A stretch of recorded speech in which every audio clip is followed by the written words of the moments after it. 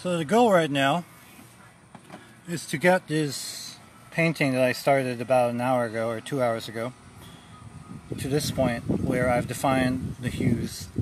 So I'm going to be laying these colors transparently on top of these uh, values that I've established, the shadows and the highlights.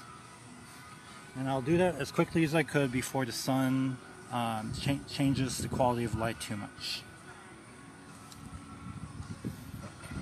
So in order to, do that, I need to be using a larger brush so that I'm able to lay out uh, larger fields of color and not spending too much time on smaller areas. So I'm not going to go too large for now because I do want to define a few compositional things before I proceed like you can see that pole over there. It's it turns this really bright orange against that sky. So I want that to be as intense as possible and unadulterated. So I'll start out by defining that color.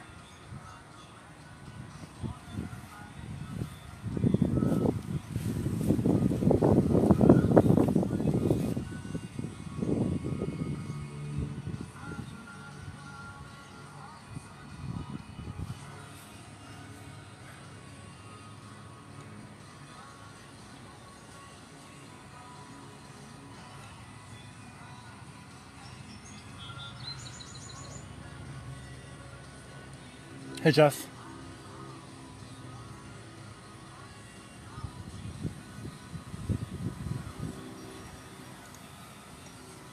So it's very important to this composition, that orange pole.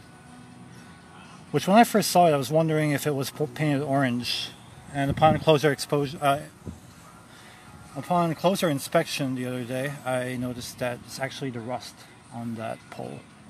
It's making it orange. Pretty cool. Okay, I'll make sure it's not too loaded with water.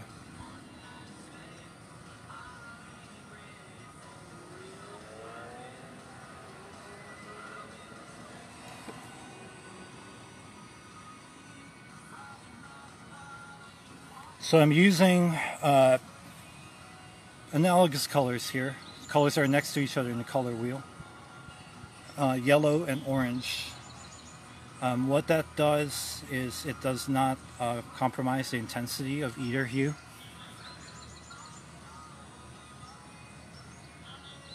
As opposed to if I were to do this with, say, a violet and a green, which are not right next to each other, and of course have different primary colors constituting them, that would tend to muddy the, the paint.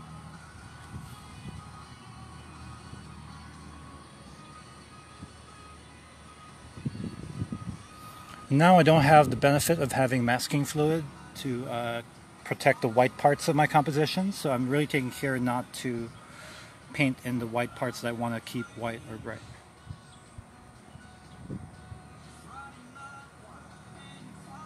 Another thing I'm going to be doing differently this time is actually defining the actual lamp here. It took me a while actually from these earlier compositions to realize that it's a light pole I'm painting.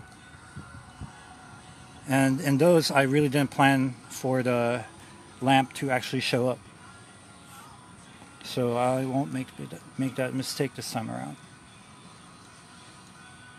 Uh, how do do this?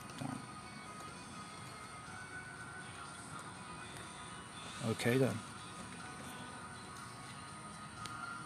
That's a snap. Okay.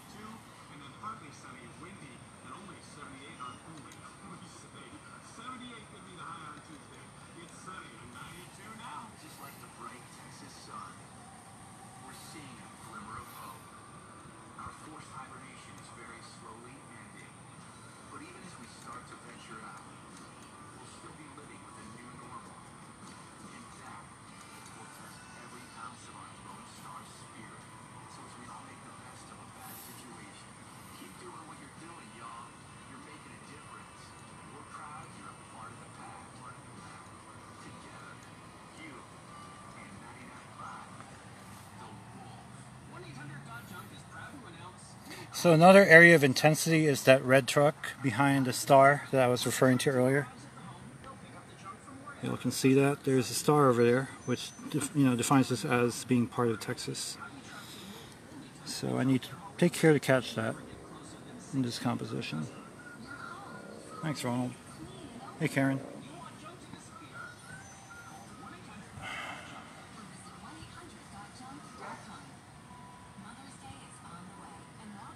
And for that, I will be mixing orange and red from my uh, the really cheap watercolor tray that I bought.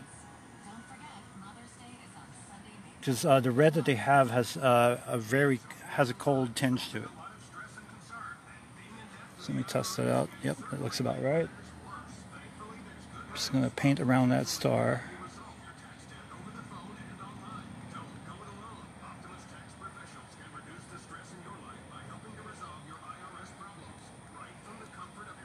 So I'm starting lightly for now, so I can define that a bit better later.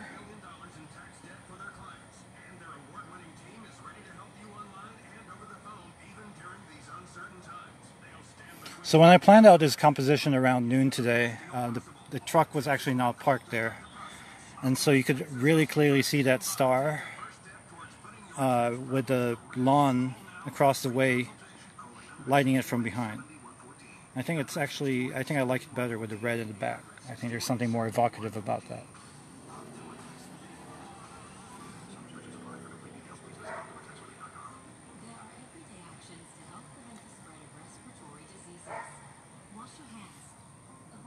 There we go.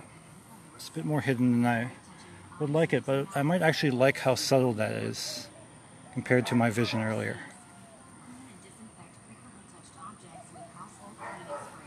Using that same red, I'm going to use it elsewhere to create some color harmonies. Just maybe start to define the brick texture a little bit. Not too much. Yeah, I think I, I overdid that there. Hopefully it dries lighter than I am painting it.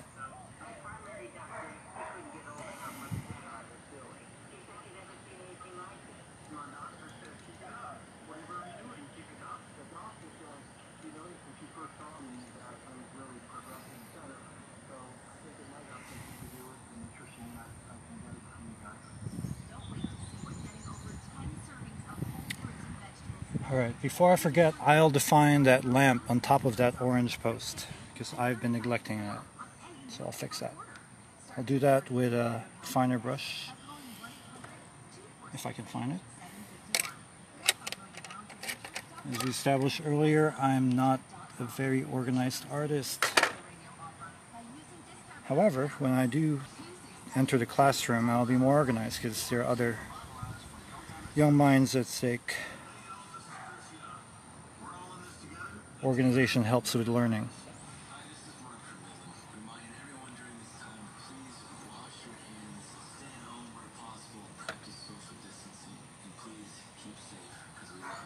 Alright, here we go.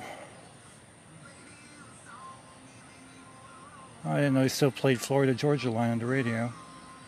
Amazing. Brings back memories of 2013.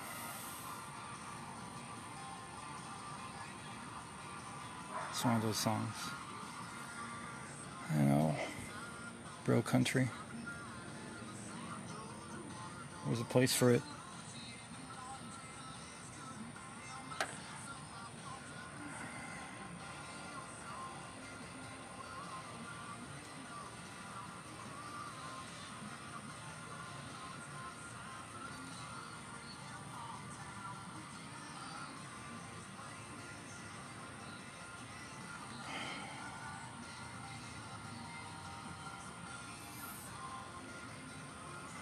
Course this brush is not as pristine as I would like it to be.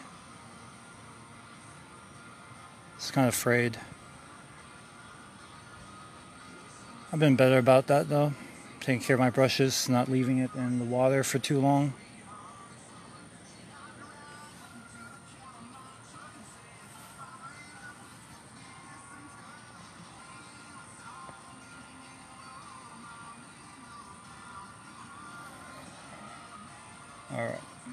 Colors. Let's define warm colors.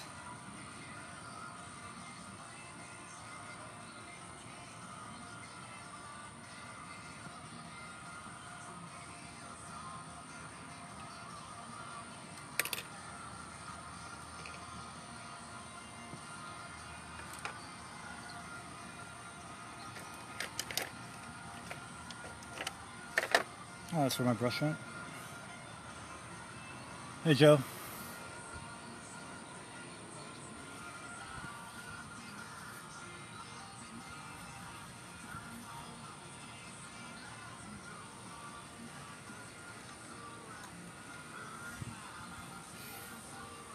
And right now, I'm doing these so lightly just to remind myself what I'm trying to show here.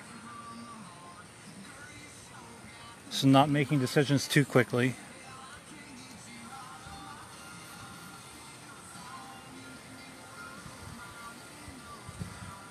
Like for instance, these vines that are growing on the fence.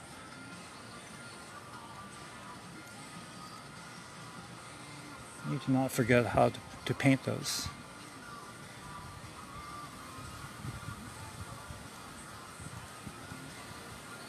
I'm gonna just lift it up and do that.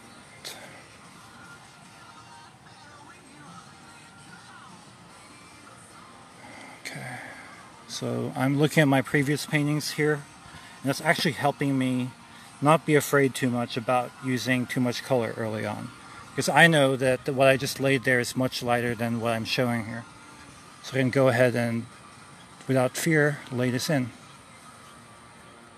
I want to keep this grass very bright green.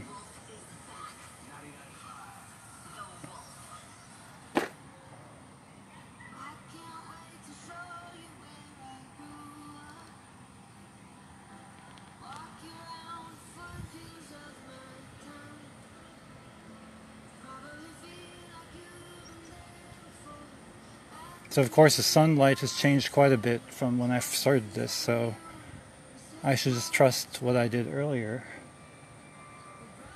instead of trying to revise it. I'm trying to remember too what it looked like. And of course it's easy to remember now that I have defined where the shadows are, where I've defined the volumes of the trees.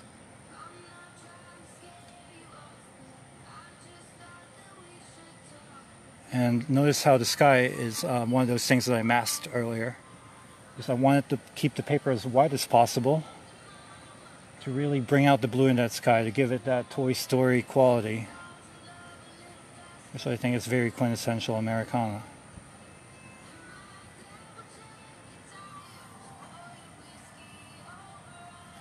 So yeah, this initial layers is just really about making notes of what I want to push later on. For instance, uh, the edge of this roof and a tree behind it.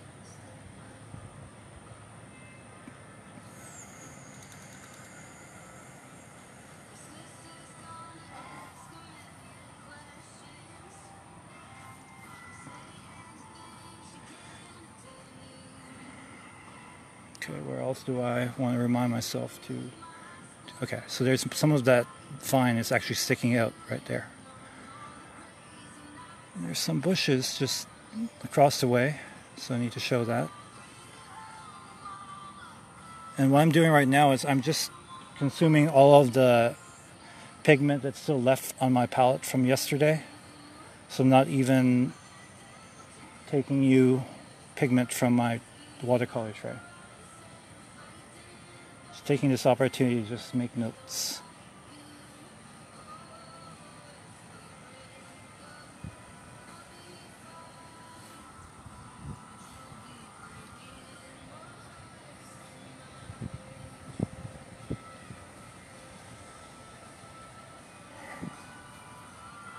Hope is as I become more fluid with watercolor, I'll become faster because I wouldn't be needing to take as much notes anymore. So of course I come from an oil painting background, which I think is a faster medium actually.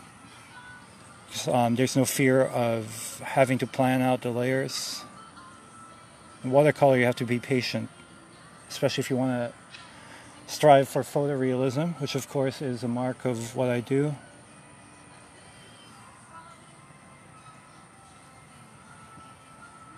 Alright, so now I've defined where the greens are. I'm going to go ahead and start defining the minor hues before I delve into the green because the green has a tendency to overpower. So I'm gonna, in my palette I have a very neutral tone of just a lot of the hues mixed together. So I'll use that to define those fields that are more neutral, like the top of this roof over here.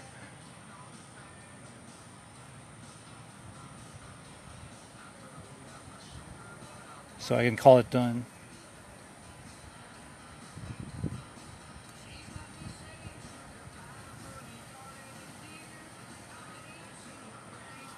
Again, very subtle, but you know I can always build up, but not pull out.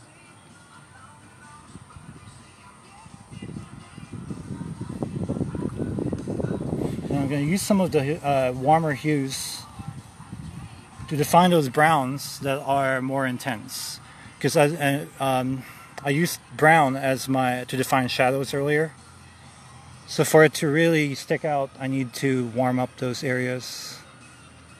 And it will read as brown.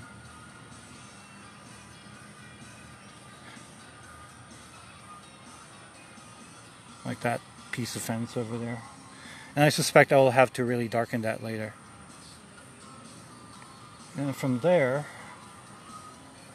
I see some warmth reflecting on the white of this eave here, which is coming from this roof actually. So that's a pretty intense orange. And in fact, in my earlier compositions, you can see how intense that orange is on that my neighbor's roof.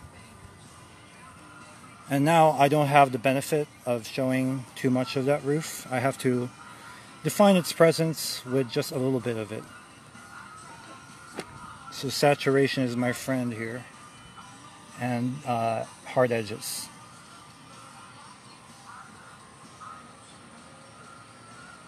And of course, starting slowly. Because again, I can always build in, but not pull out. Okay. now there's actually some light shining on this wall over here that's creating a really intense orange, but I'm not going to do that. I'm going to, because I've defined it, that was in shadow at the time when I defined this composition. So let's see here. Can do some of the tips of the plant.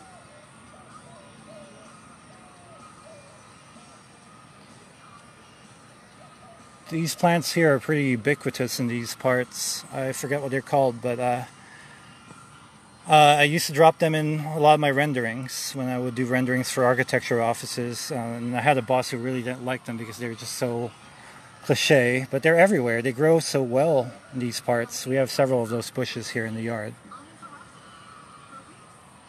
There's that chimney over there.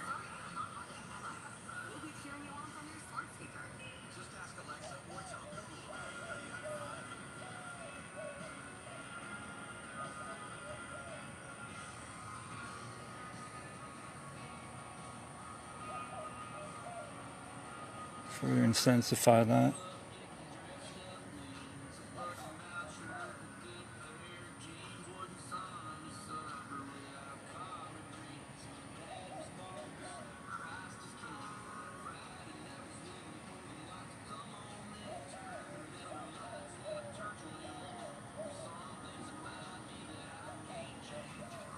Yeah, I like that. So I get a field of warmth here, a line here, and a point over there. So that's what this composition is about. And of course the truck that's parked right behind the star here. And as you can see, I just laid a very subtle hue of red there. And now I'm using the yellowed orange on top of it. So it starts to make it shine a little bit more.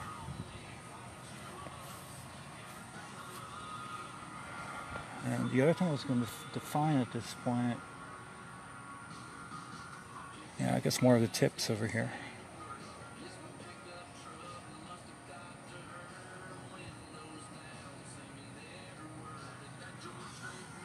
Okay. Let's see, decisions, decisions. Oh yeah, the chimney over here. This needs to be a bit redder. Just a little bit of chimney over here, but I think it's essential to what we're trying to convey here.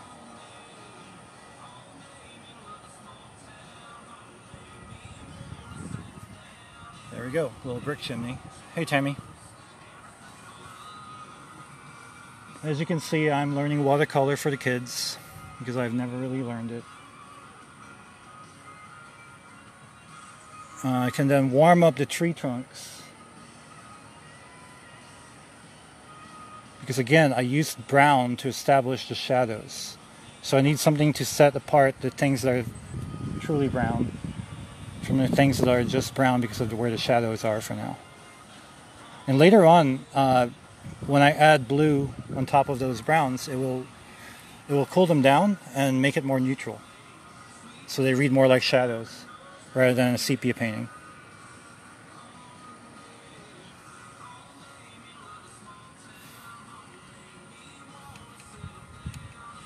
Then the next bit here is this little bit of wall of my neighbors. It's a it makes a very strong vertical that I want to define against the background. So let's go ahead and do that. Lay in some yellow in there. Because it's catching a lot of light, especially now. There we go. So then later on I can then push the back of that a little bit further in with color to really bring that out. I think it's time for me to start darkening the greens. So I'm going to go ahead and go in my tray here and add some of the greens. Taking care to mix some yellow in that because again the green here tends to be at the colder side. Just like the red in the store-bought uh, watercolor tray which tends to have a blue tinge to it, the green does too. And that's pretty unnatural in nature when the greens tend to be actually warmer.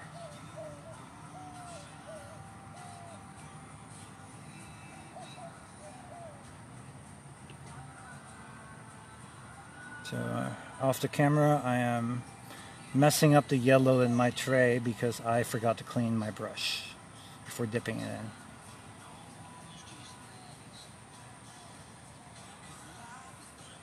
Making mistakes. Not happy ones, but ones that I learned from. Hey Jackie.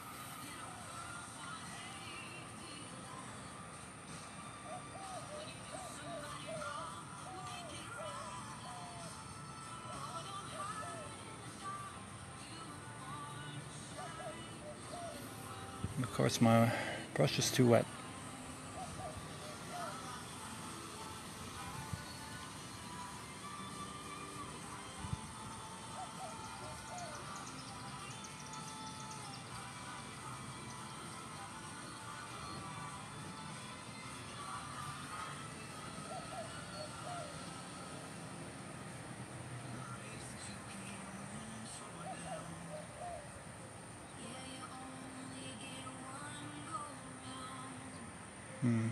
Starting to come out.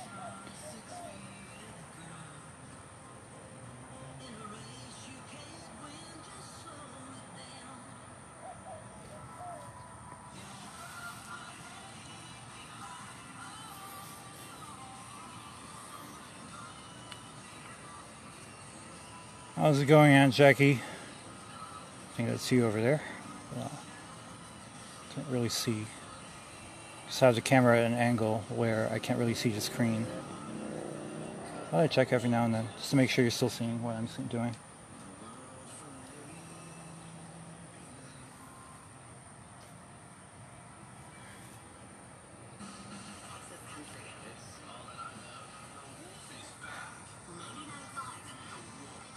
So in a sense, I'm actually starting with the highlights of those volumes of uh, branches and leaves that I established earlier. Too much water there, darn it. Um, and then I'll go back and actually darken the darker parts of the leaves. And the way, reason I'm doing that is I made a mistake earlier on of going dark immediately and really losing the expressive quality of those highlights, of those volumes.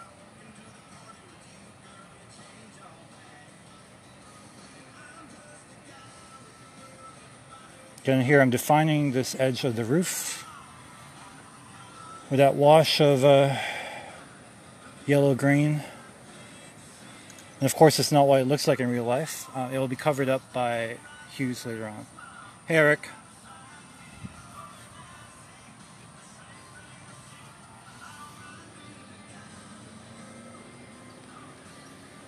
And I did mention this earlier that I knew that this was going to happen. Two hours have passed, and now this clump of trees is catching the sunlight. I'm going to resist the urge to make it look like that. I'm going to remember that this was a heavy shadow. So I can bring out the brights here, which is what it looked like earlier. But I'm not doing that quite yet now. I'm just slowly building up that mass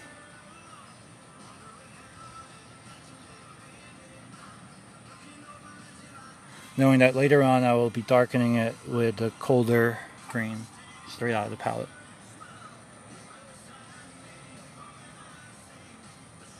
And that's the amazing thing about watercolor is that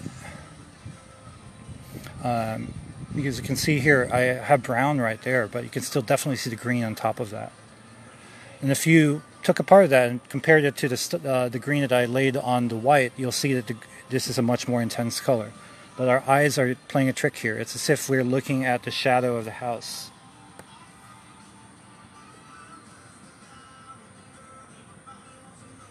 So, and when we look at the shadow of the house, we see those colors as green.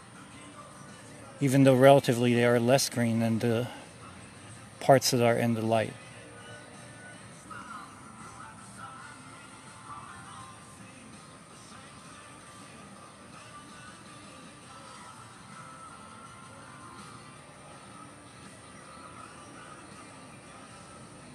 Again, here I'm using that green as a notation device. Of course, these bushes here are actually a colder green. Can, I can always cool it down later because, just as I said, the color straight out of the palette or the, the tray is a very cold color, tending towards blue. Very unnatural.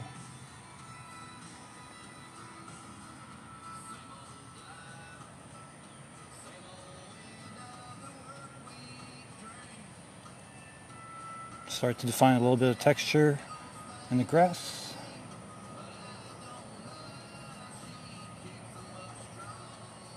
Trying to mitigate the quick decisions I made earlier. That makes the shadows just look like clumps of color rather than actual shadows falling on the grass. Catching light in its very specific way.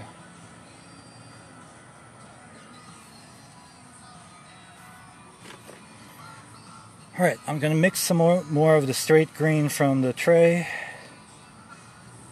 Taking care to still keep some of that yellow. Because as I mentioned earlier, as I was reciting Emily Dickinson, too bright for our infirm delight, the truth superb surprise. As you can see, it's already quite cold. I can always cool it down later. Everything is relative.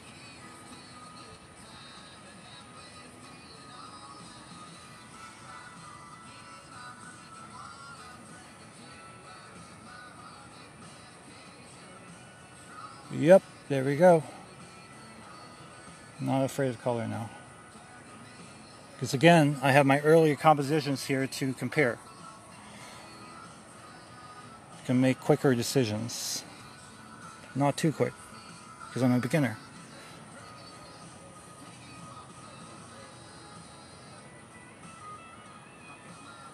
And notice how I'm laying this where those browns are. So I'm keeping those areas that are in highlight still light. Can add more yellow to those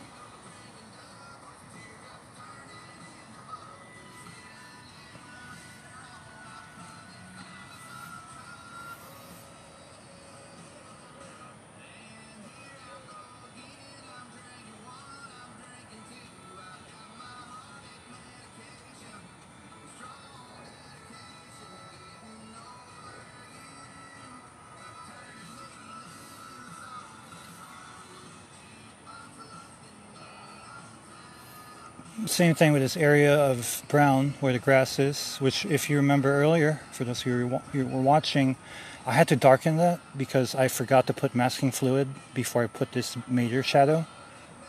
So everything's relative.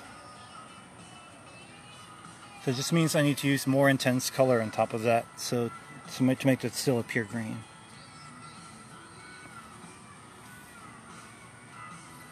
And more of the green from straight from the tray, so mixing it into my mother green, which is more yellow.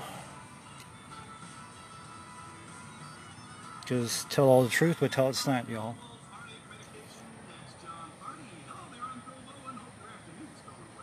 Again, taking care to just keep it in the shadow areas I defined with the brown earlier.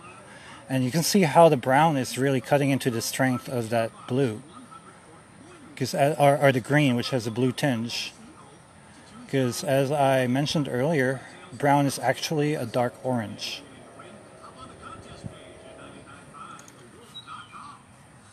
And of course, orange is a complementary of blue. So they tend to have a canceling effect on each other. I'm noticing right now that I don't have brown here when I needed it. So I'll have to lay in more brown there because otherwise see how intense the green is compared to that. We don't want that.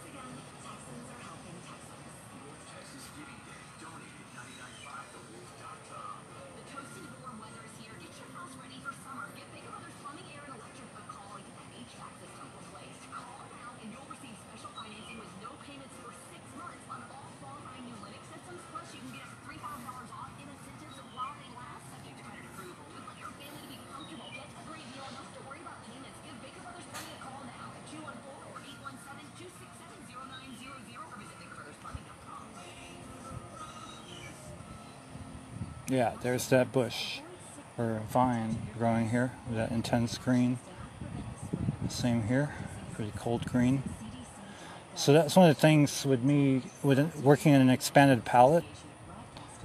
Suddenly I have all these nuances available to me, and I'm still falling back to my previous way of working where I just think about the greens indiscriminately. As long as it has a tinge of green, you know, I was happy. But now I have a wide range of greens. So I'm really trying to up that contrast between the types of greens.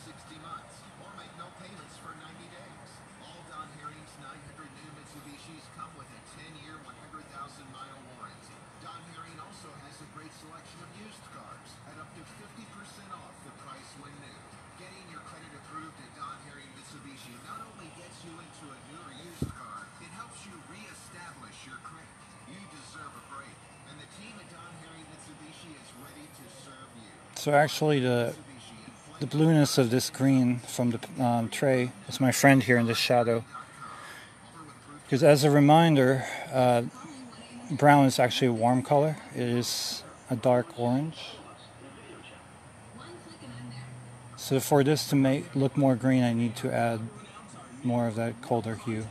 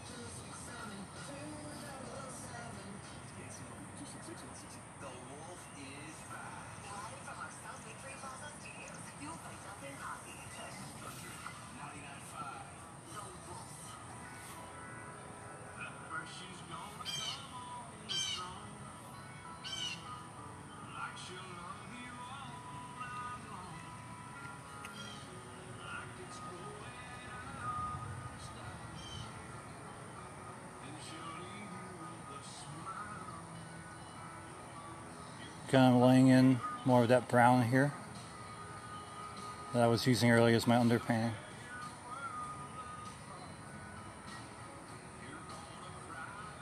So I really wanted to find this point.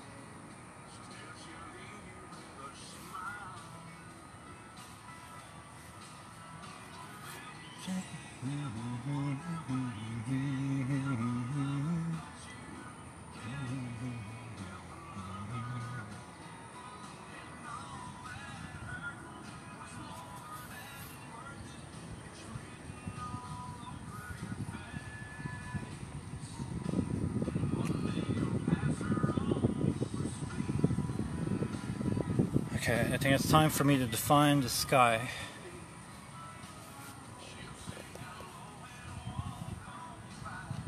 Again, I kept the white of this, uh, kept that the part where the sky will be white.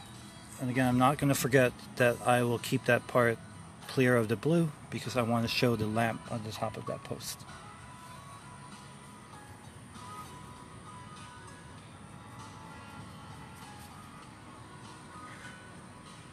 Start from the top, which of course, you know, that's taking care to immediately just water, wet that. As again, as I said, I am just learning watercolor right now. I'm doing so so that I'll be able to teach it to the kids this fall. And so I, I probably have a lot of bad techniques that I'm trying to unlearn or not learn.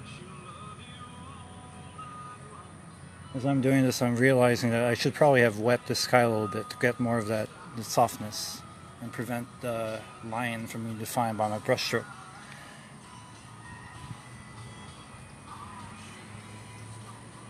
Yep, there it is. That's the way to do it. Oh, I just learned something new. Amazing. Okay.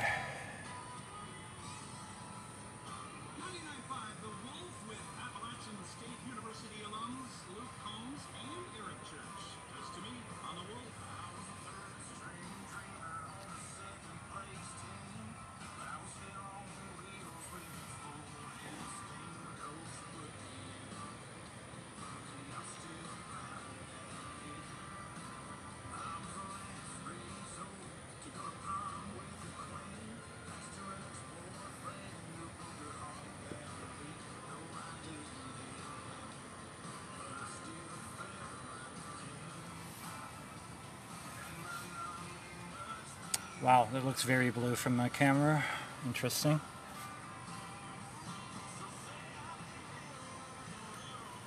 Happiness to show, underachieving never show. Dang. And there we go. Correct that mistake.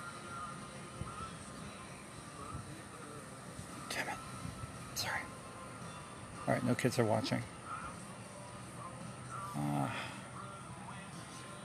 Wabi Sabi. Yes. It's gonna go for Wabi Sabi. Too much of a blue over there. Defining an edge.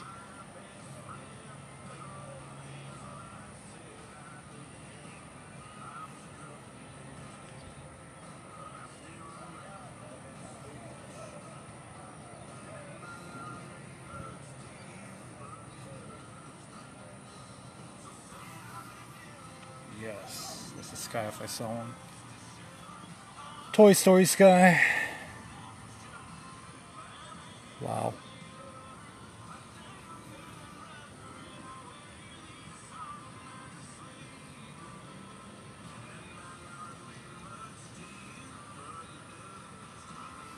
Huh. Paper's starting to buckle because I'm taking this wet on wet business quite seriously.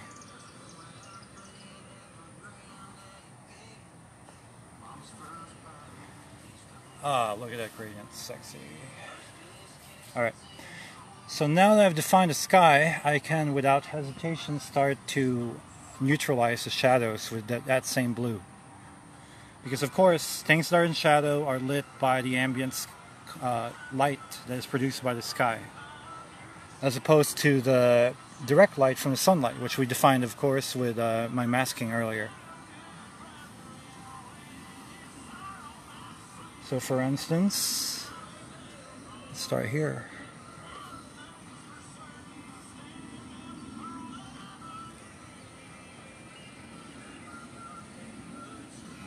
Need some more blue.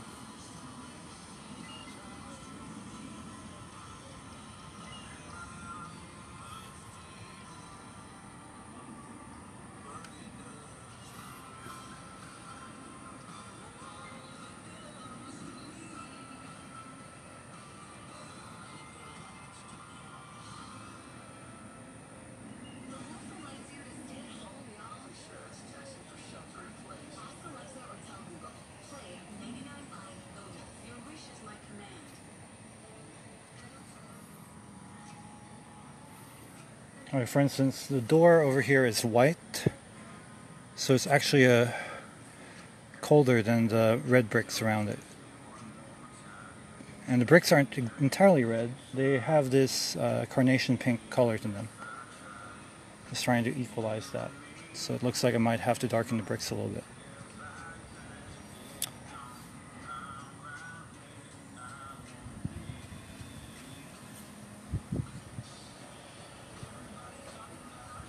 Too much. And wabi sabi.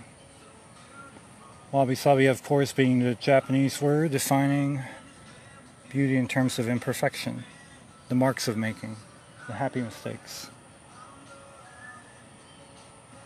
For me, it's a euphemism of just being careless. Although I do, my I think my aesthetic is wabi sabi, or at least I try to strive for it.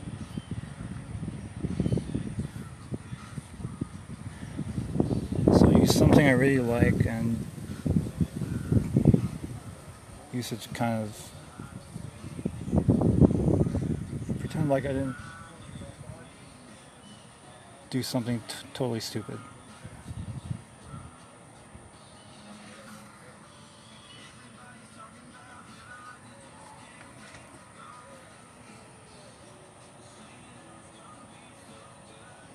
Ah, uh, yeah, there we go. Too much water.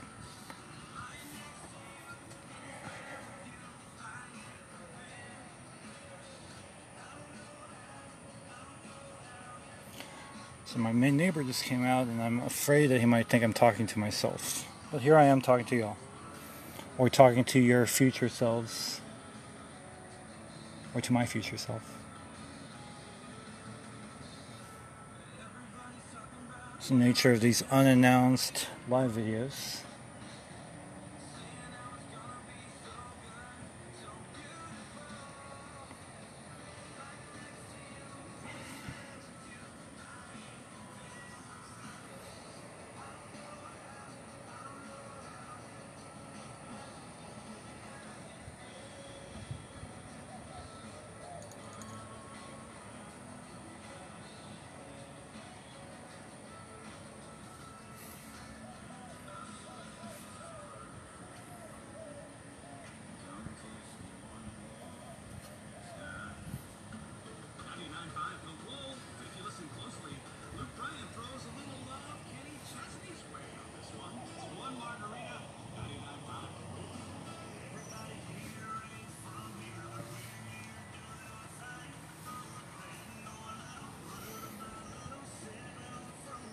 Hmm, look at that, an insect just landed on my painting. Doing no harm.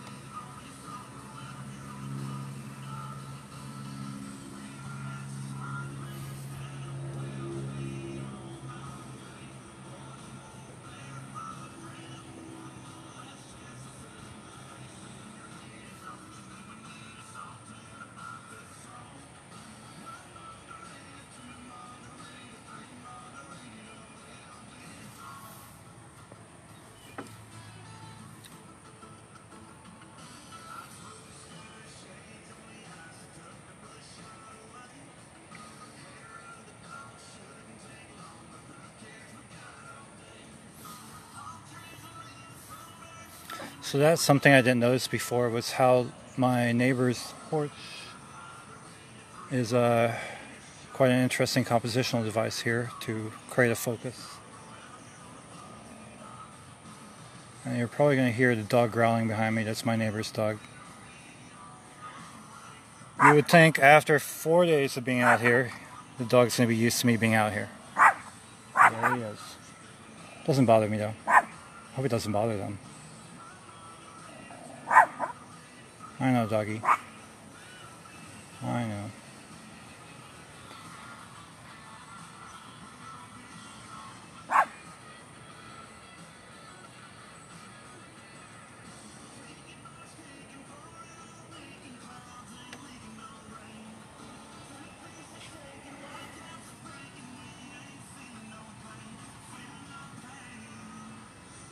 So I have this suspicion, suspicion that I uh, neglected to remove some of my masking fluid in certain areas.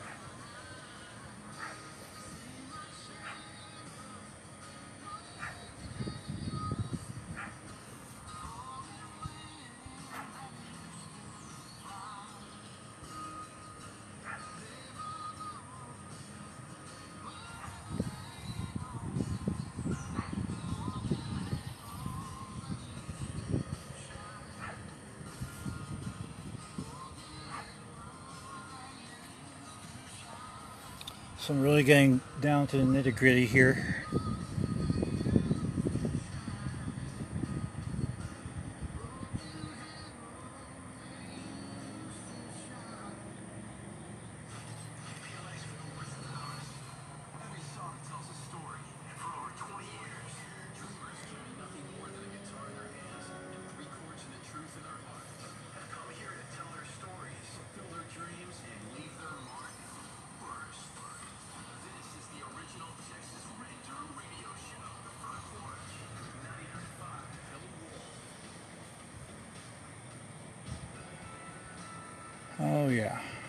Watson.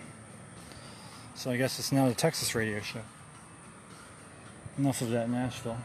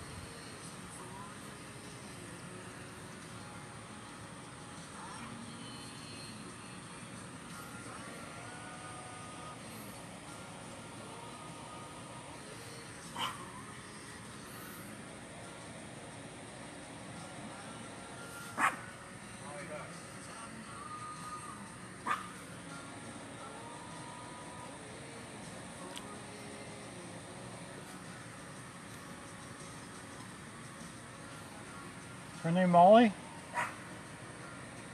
What's the name of the dog? Molly. Molly. Blue. Molly.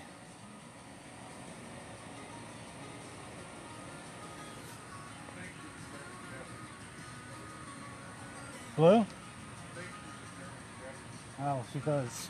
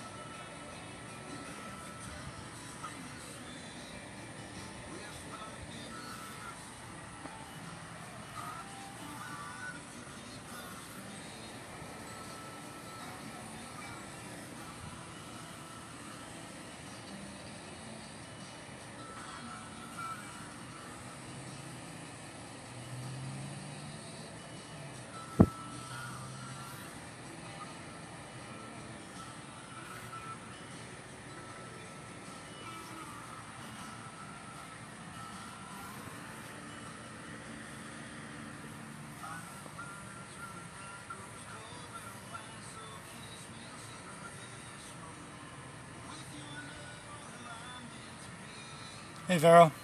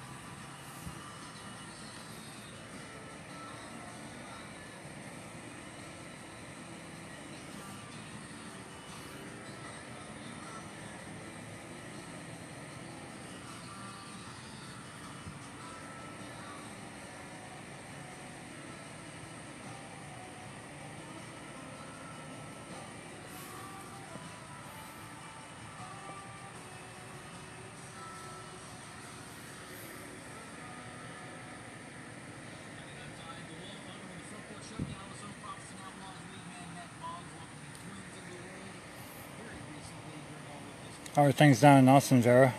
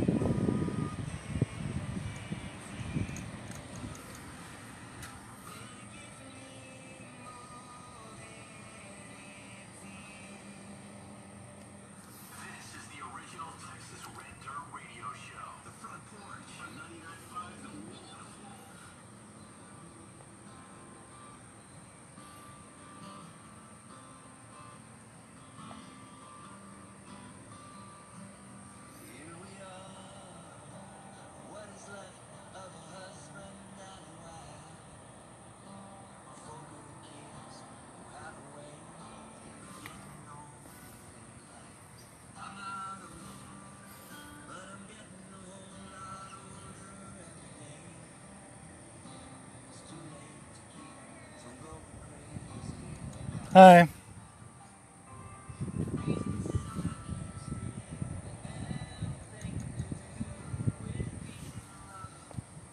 Almost done.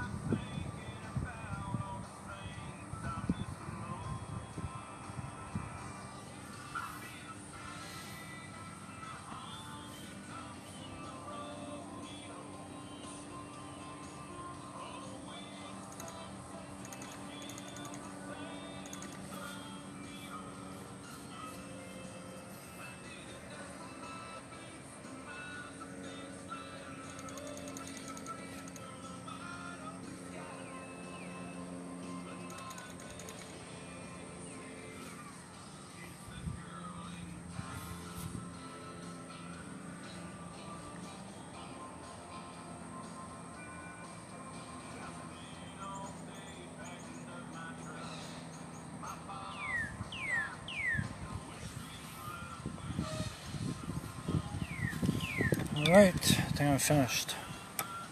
Oh, it's a little more yellow over there.